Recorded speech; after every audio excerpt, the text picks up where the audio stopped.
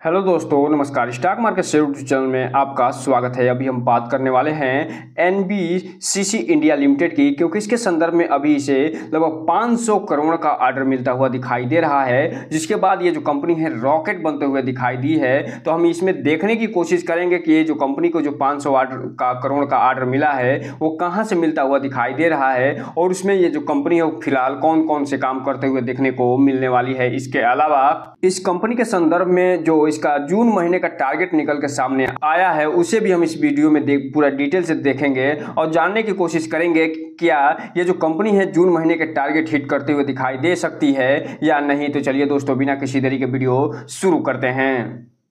सबसे पहले अगर हम बात करें इसके चार्ट पैटर्न की तो आज यहाँ पे देख रहे हैं कि इस कंपनी में लगभग साढ़े सात परसेंट की तेज़ी ये दिखाते हुए बंद हुआ है। और ये जो कंपनी है, एक सौ उनतालीस रुपये पैंतालीस पैसे पे डेट करता हुआ नज़र आया है। और ये जो तेज़ी निकल के सामने आई है, वो फ़िलहाल इसे जो ऑर्डर मिला है पाँच करोड़ का, उसके बाद ये तेज़ी आती हुई दिखाई दे रही है। जबकि बात करें पाँच दिन की चार्ट पैटर्न की तो यहाँ पे आप देख रहे हैं इस कंपनी में फ्लेट एकदम ये रिटर्न निकाल के देता हुआ नज़र आ रहा है। जबकि एक महीने के चार्ट पैटर्न आप देखेंगे तो ये लगभग नौ का रिटर्न निकाल के देता हुआ दिखाई दे रहा है। जबकि बात करें छह महीने की चार्ट पैटर्न की तो छह महीने में ये जो कंपनी है अपने शेयर होल्डर को लगभग बहत्तर परसेंट का रिटर्न निकाल के दे चुकी है। जबकि बात करें अगर हम ईयर टिल डेट की तो ईयर टिल डेट में ये जो कंपनी सत्तर परसेंट का रिटर्न निकाल के दी है। जबकि एक साल की अगर हम बात करें तो एक साल में इस कंपनी ने अपने शेयर होल्डर को अच्छा खासा रिटर्न निकाल के देते हुए दो परसेंट बढ़ोतरी उसके, उनके रिटर्न में कर दी है। जबकि बात करें हम मैक्सिमम चार्ट पैटर्न की तो ये जो कंपनी लिस्ट हुई थी 2012 में छः रुपये बत्तीस पैसे पे तब से लेकर अभी तक ये इक्कीस सौ परसेंट का रिटर्न निकाल के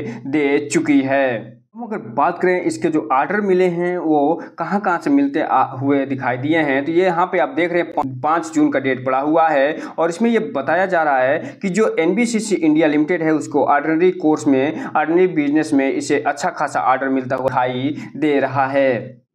अब हम अगर बात करें इसके पहले ऑर्डर की तो यहाँ पे आप देख रहे हैं कि जो सेंट्रल गवर्नमेंट हेल्थ स्कीम चलाई जा रही है। मुंबई में उसके थ्रू इसे 112 करोड़ का ऑर्डर मिलता हुआ लगभग दिखाई दे रहा है। और इसमें जो ये कंपनी है, वो फ़िलहाल कंस्ट्रक्शन करने वाली है multi facility health care complex का।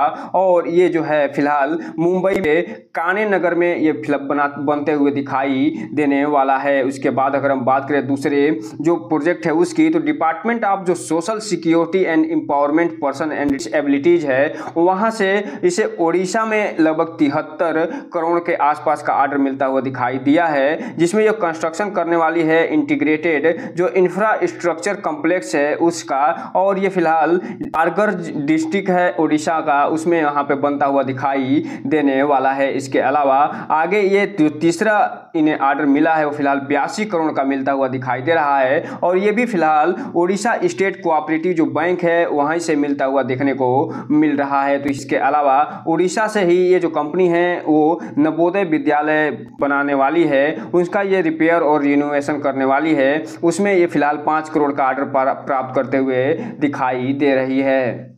इसके अलावा नवोदय विद्यालय का ही ये कंस्ट्रक्शन करने वाली है, जो संभलपुर डिस्ट्रिक्ट है उड़ीसा में, लगभग साढ़े चार करोड़ में। इसके अलावा ये जो देवगढ़ है उड़ीसा में, वहाँ पे भी ये फ़िलहाल नवोदय विद्यालय बनाते हुए नज़र आएगी, साढ़े चार करोड़ में। इस हिसाब से आप देख रहे हैं कि उड़ीसा में इसे अच्छा खासा काम मिलता हुआ दिखाई दे रहा है। इसके अलावा ये मिनिस्ट्री ऑफ़ जो एक्सटर्नल अफेयर्स है, वहाँ से एक लगभग एक सौ तीस करोड़ का इसे ऑर्डर मिलता हुआ दिखाई दे रहा है, जिसमें यह कंस्ट्रक्शन करने वाली है residence of ministry of external affairs का न्यू दिल्ली में, और वहाँ पे फ़िलहाल 130 करोड़ का यह ऑर्डर प्राप्त इसे होता हुआ दिखाई दे रहा है। इसके अलावा यूनियन बैंक ऑफ़ इंडिया जो कि एक गवर्नमेंट की ये बैंक होते हुए दिखाई देती है, वहाँ से फ़िलहाल 40 करोड़ का यह ऑर्डर प्राप्त करते हुए देखने को मिल रही है। वहाँ पे ये फ़िलहाल ये जो ऑर्डर मिला है वो फ़िलहाल ये विशाखापट्टनम आंध्र प्रदेश से मिलता हुआ देखने को मिल रहा है। इसके अलावा जो national internet exchange of India है, वहाँ से लगभग साढ़े चार करोड़ का ऑर्डर प्राप्त करते हुए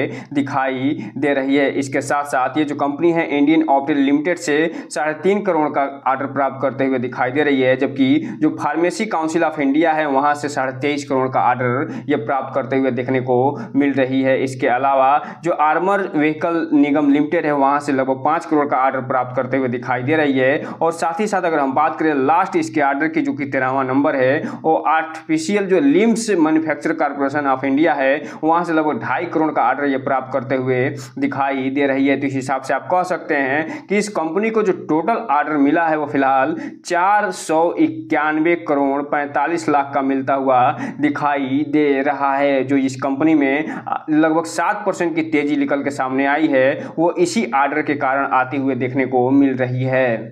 अब हम अगर बात करें जून महीने का जो टारगेट निकल के सामने आया है उसकी तो चूँकि आप अभी हम देखे थे चार्ट पैटर्न जब देख रहे थे उस समय, कि ये जो कंपनी है एक सौ के आसपास ट्रेड करते हुए देखने को मिल रही है, और इसका जो फ़र्स्ट अप टारगेट दिया जा रहा है, वो फ़िलहाल एक रुपये सत्ताईस पैसे पे ये दिया जा रहा है। जबकि बात करें हम सेकेंड अप टारगेट की तो ये जो कंपनी है वो इसका एक सौ उनहत्तर रुपये के आसपास का ये सेकेंड अप टारगेट देते हुए नज़र आ रही है। जबकि बात करें इसके थर्ड टारगेट की तो ये जो कंपनी है एक सौ इक्यासी से बयासी रुपये का ये टारगेट पाते हुए नज़र आ रही है। जबकि बात करें ये फोर्थ अप टारगेट की तो दो सौ एक, एक रुपये का ये इसको फोर्थ अप टारगेट दिया जा रहा है। तो इस हिसाब से आप देख सकते हैं कि इसका जो अप टारगेट है वो एक से लेके और दो सौ के आसपास होता हुआ दिखाई दे रहा है। और चूँकि आप जान रहे हैं कि वर्तमान में जो लोकसभा अभी चुनाव हुए थे उसमें जो वर्तमान गवर्नमेंट है उसी के सरकार बनते हुए दिखाई देने वाली है। इसलिए लिए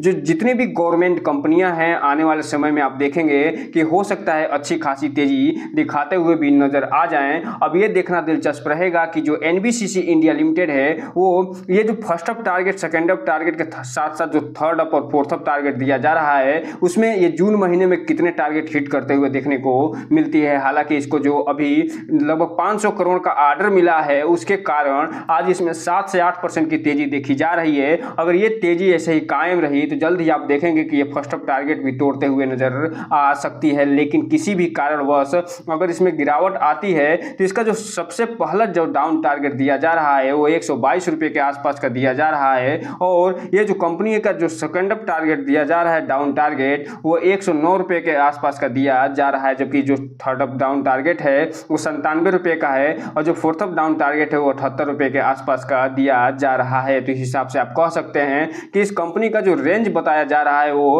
अठहत्तर, उन्यासी रुपये से लेके दो सौ एक रुपये के आसपास का रेंज निकल के सामने आता हुआ दिखाई दे रहा है। और ये जो रेंज निकल के सामने आया है, वो डाउन टारगेट से लेके और जो लास्ट ऑफ़ टारगेट है, वहाँ तक ये आता हुआ देखने को मिल रहा है। अब ये देखना दिलचस्प रहेगा कि जून महीने में क्या ये अप साइड का टारगेट हिट करता है या लो साइड का। और यहीं पे रिटेल इन्वेस्टर हैं, उनको एक डिस्क्लेमर देना चाहेंगे कि इस कंपनी में कोई भी इन्वेस्टमेंट करने से पहले अपने वित्तीय सलाहकार से संपर्क कर ज़रूर करिएगा। और जब भी इसमें इन्वेस्टमेंट करना हो तो इस कंपनी के बारे में फुल एनालिसिस ज़रूर करिए। उसके बाद ही कोई भी इन्वेस्टमेंट करने करने का प्रयास करिएगा ताकि आपका पैसा और निवेश दोनों सुरक्षित रहे और साथ में आपका भविष्य भी। हालाँकि ये जो कंपनी है, एक गवर्नमेंट बैक्ड कंपनी है, इसलिए अदर कंपनियों के मुकाबले थोड़ा सा कम रिस्की होते हुए दिखाई देती है। और साथ ही साथ ये जो कंपनी है, वो पैसिव इनकम के रूप में समय समय पर डिविडेंड भी छोटे मोटे देते रहती है, जिसके कारण जो अच्छे खासे जो शेयर धारण करके बैठे हैं एनबीसीसी इंडिया का, उनको अच्छा खासा प्रॉफिट भी होता हुआ दिखाई